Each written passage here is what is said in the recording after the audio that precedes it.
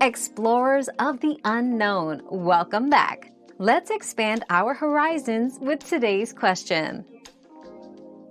Snow in Los Angeles is extremely rare due to its warm Mediterranean climate.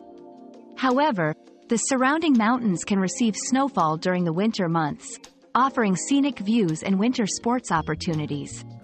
For snow experiences near Los Angeles, places like Big Bear Lake or Mount Baldy are popular destinations. In the city itself, experiencing snow is an exceptional event, usually making headlines when it occurs. Our quest for knowledge never ends. Thanks for being part of today's discovery. Subscribe, like, and share to join us on the next one.